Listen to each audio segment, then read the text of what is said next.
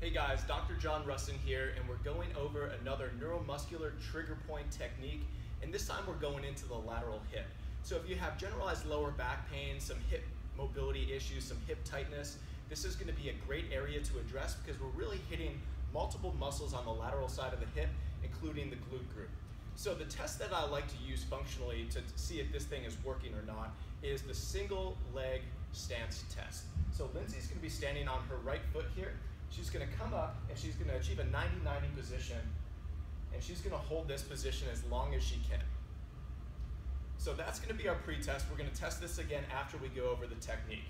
So we're gonna be using a softball here. It's a little bit bigger, but this is actually a kid's softball. It's used for practice and it's a lot softer because this is gonna be a really sensitive region up into this hip.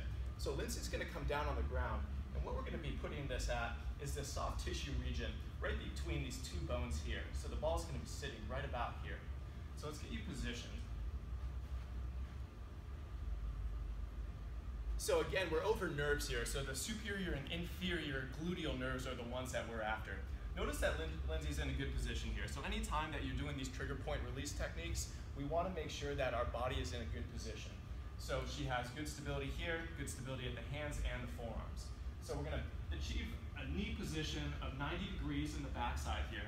And Lindsay's gonna be going into flexion and extension of her right side here.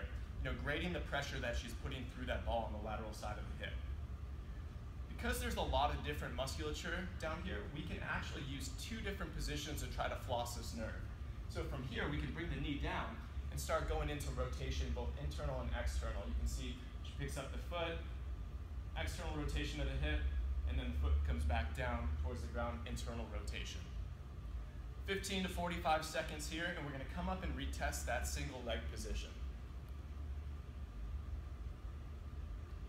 Again, make sure that we're seeing pain alleviation benefits, but also functional benefits when we're doing these neuromuscular trigger point techniques.